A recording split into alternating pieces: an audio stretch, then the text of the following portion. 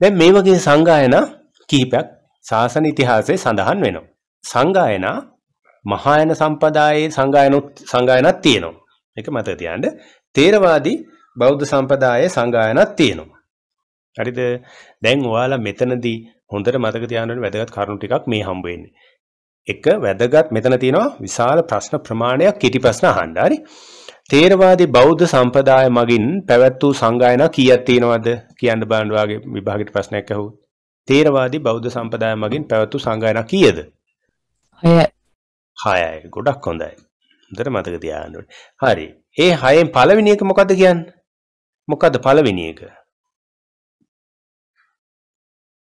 කවදද ඒ කියන්නේ බුදුහාරු පිරිනුවම් පෑවට පස්සේ කොච්චර කාලයකට පස්සේද පළවෙනි සංගායනාව තිබ්බේ තේරවාදී බෞද්ධ සංගායනාවල මාස 3කට පස්සේ මාස 3කට පස්සේ කොහෙදීද මගධ රාජ්‍යී රජගහ නුවර ඔව් රජගහ නුවර දෙවෙන්න බුදුහාඳුරු පිරිනුවම් පෑවට පස්සේ පළවෙනි එක බුදුහාඳුරු පිරිනුවන් පාලා මාස 3කට පස්සේ එක. ඊළඟට දෙවෙනි එක බුදුහාඳුරෝ පිරිනුවන් පාලා කොච්චර කාලයකට පස්සේද?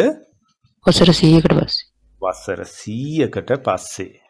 ඊළඟට තුන්වෙනි එක දෙවෙනි එකේ කොහෙද තිබෙන්නේ විශාලා මහනුවර. විස්තරාත්මකව පස්සේ අපි සාකච්ඡා කරනවා. ඊළඟට තුන්වෙනි සංගායනාව බුදුහාඳුරෝ පිරිනුවන් පාලා වසර කීයකට පස්සේද? 200 236 36කට පස්සේ. ඔන්න සංගායනා 3 ප්‍රධාන සංගායනා තුන. හැබැයි තේරවාදී සංගායනා කීයක් පැවතුවාද තේරවාදී සංගායනා කීයද මයික් එක ඔන් කළම් තියාට කමක් නැහැ සද්ද බද්ද නැත්තම්. උත්තර දීගෙන මයන් කතා කරගෙනමු. කීයද තේරවාදී සංගායනා කීයද? ඉස්සෙල්ලා කිව්වා. 6 කී? 6යි 6 තේරවාදී සංගායනා 6 එතකොට දැන් ওই සංගායනා තුනක් ගැන කතා කරේ. දැන් ඔන්න අපේ පාඩමට එන්නේ මෙතන තමයි. හතරවෙනි ධර්ම සංගායනාව. තේරවාදී හොඳේ. තේරවාදී නොවන සංගායනාවක් තියෙනවා හතරවෙනි. අද අද කතා කරන්නේ යන්නේ දෙක. තේරවාදී හතරවෙනි සංගායනාව මොකද්ද? කොහෙදද තිබ්බේ? මොන රටේද? මතකද? බලන්න පොතේ.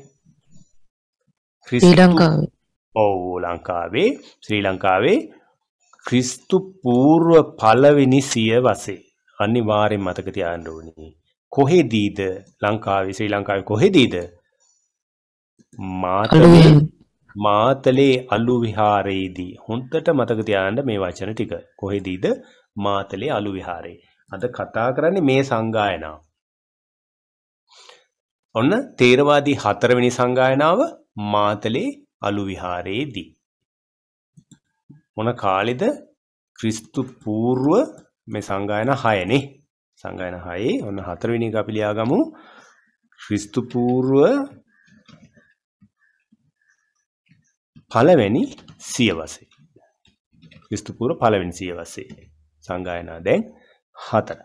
ඊළඟට ඒක පැවැත්වුවේ ශ්‍රී ලංකාවේ මාතලේ අලු විහාරයේදී හතරවෙනි සංගායනාවයි හයවෙනි සංගායනාවයි මැව් සෝරි පස්වෙනි සංගායනාවයි හයවෙනි සංගායනාවයි කොහේදීද පැවැත්වුවේ පස්වෙනි සංගායනාවයි හයවෙනි සංගායනාවයි දැන් හතරක් ගැන අපි කතා කරන්නේ තේරවාදී සංගායනානේ හයක් ගැන කතා කරන්නේ පස්වෙනි එකයි හයවෙනි එකයි දෙකම පැවැත්වුවේ කොහෙද මොන රටේද බුරුමේ නැත්තම් මියන්මාරේ කිය. දැන් මෙන්න මේ විදිහට මතක තියාගන්න. බුරුමේ සංගායනා දෙකයි බුරුමේ එහෙම නැත්නම් මියන්මාරේනේ. පස්වෙනි සංගායනාවයි හයවෙනි සංගායනාවයි. පළවෙනි සංගායනාව දෙවෙනි සංගායනාව තුන්වෙනි සංගායනාව ඉන්දියාවේ ಭಾರತයේ පැවැත්වී බුදුහාරෝ පින්වම් පැවට පස්සේ මාස 3කට පස්සේ පළවෙනි සංගායනාව අවුරුදු 100කින් පස්සේ දෙවෙනි සංගායනාව තුන්වෙනි සංගායනාව අවුරුදු 236කින් පස්සේ. ක්‍රිස්තු පූර්ව පළවෙනි සියවසේ ලංකාවේ මාතලේ අලු විහාරයේදී හතරවෙනි තේරවාදී සංගායනාව 5යි 6යි බුරුමේ මියන්මාරේ. තේරවාදී සංගායනා 6යි